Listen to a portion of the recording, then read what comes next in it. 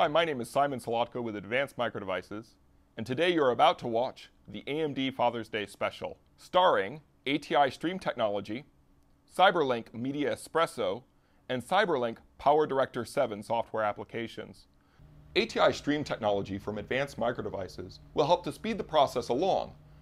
Using these software applications, we're able to translate our video to multiple formats faster than we could without ATI Stream Technology. In two hours, we're going to create our own home video, never having used video editing software before. Cyberlink PowerDirector appears to have various stages of creating and ultimately outputting a video. It looks like we begin with capturing the video content.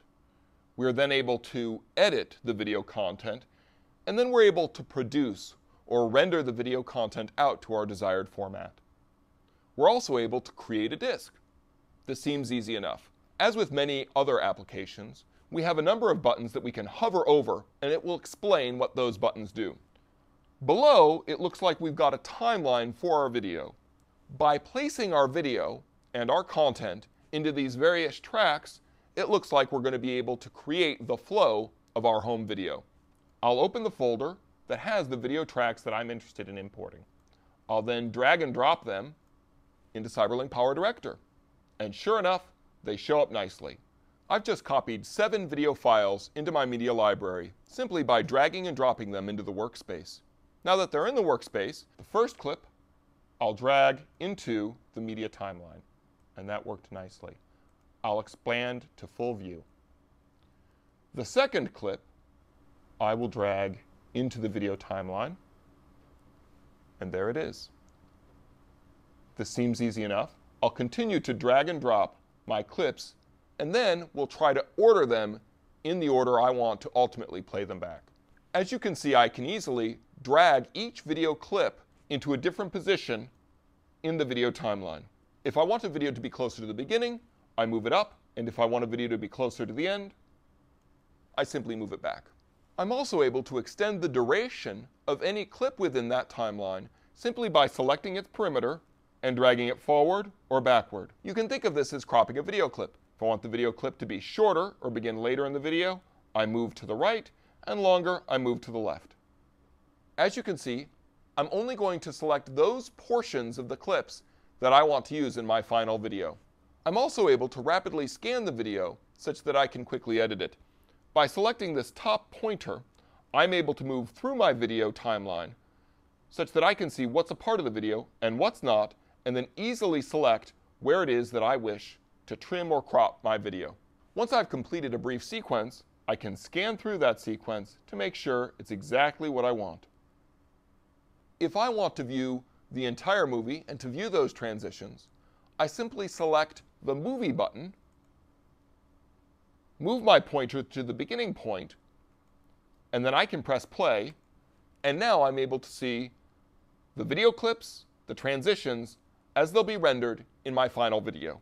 As you can see with each transition, it's currently a hard cut. I bet I'll be able to insert an effect to create smoother transitions. And this application has a lot of cool transition effects, and we're going to see how to use them now. To use transitions, I simply select the Transition Room option in the upper left-hand navigation. These are a number of transition effects, and a lot of them create incredibly cool, well-produced effects. I'm going to select an effect called Drain.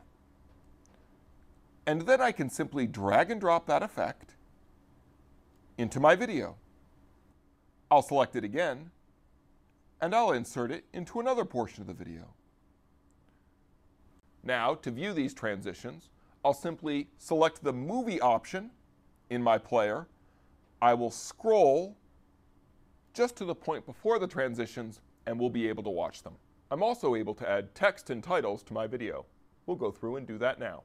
To add text, I select the icon Title Room on the upper left-hand navigation. I'm able to double-click to add text in any of the given formats or effects that are selected. I'm going to select the Vacation effect. I'll drag it into the video. I will move it towards the beginning. and I will enter the text in the editing window that's appeared. I've never done any of this before. It just works intuitively as you think it ought to. All I'm doing is selecting text effects and dragging and dropping them into the text title track. I'm then able to double click and edit the text for each section. As you can see, I'm able to create, modify, and play back video effects in real time. I'm able to create an effect and very quickly scan through and watch how that effect impacts my final video. Let's review the steps we've taken so far. First, we selected and imported the clips into the application. Then, we edited those clips into the right size and position within our movie. Then, we added transitions and text effects to the video to make it flow more smoothly.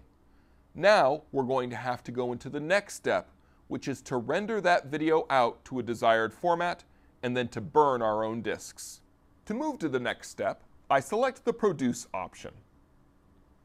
In the Produce option, it looks like I have the option to view the video, and then it outlines in step one I can create a file, create a streaming file, write it back to tape, or create a hard disk drive camcorder file. Or I can post to YouTube. These are all great options. I'm going to start out by creating a file. The file I'm going to create first is one compatible with a portable media player so that I can easily watch this video on the go. To do that, I'll select Portable MPEG 4. I'll select Best Quality, and I'll simply move to the next step. I now have the option to name that file, and I have a few important checkboxes. One of them is Enable GPU Hardware Video Encoder. This is how we're able to take advantage of ATI Stream technology. With ATI Stream technology, we're going to be able to faster produce the output file. In this case, an H.264 portable media device file. ATI Stream technology works by distributing the processing task across the processor and the graphics processor. By doing so, we're able to more quickly encode or create that file. To begin, I'll simply press Start Rendering. The rendering has begun, the application will provide an estimated time for completing the render. Using ATI Stream technology, the encode goes very quickly. It only took us 41 seconds to take a 5-minute video and translate it into the H.264 video format ready for playback on my portable media device. Let's take a look at how the video, the transitions, and the text effects work together in the final video. As you can see, we've been able to create a home video for playback on a portable media device. Now we'll try the same experiment again without ATI Stream technology. We will deselect the Enable GPU hardware video encoder, and we'll start rendering again. With ATI Stream technology, we were able to render the video over 50% faster than without. That's a significant savings of time, and it shows the performance capabilities of ATI Stream technology in accelerating home video creation. To create a DVD disk, I'm going to select the Create Disk option. As you can see, it's automatically inserted a template for my DVD menus. I can select different templates and apply those to my movie file. Each of these templates creates a different look and feel. I think I like template 5. It's clean and it's three-dimensional. And now you can see how I can navigate chapters by using this new navigation that the application has created in my DVD menu. The final step is to burn a disk and to test the DVD. To do that, we'll simply select the burn option. We'll select our drive, we can give the disk a name and the number of copies, and we'll press OK and it'll burn a disk. The burn process was successful. Now we're going to test our DVD to see if we'll be able to play it back on our home DVD player. To do that, I insert it and I've opened it with Windows Media Player. And as you can see, our menu's working great. I have the play option, or I can select individual chapters.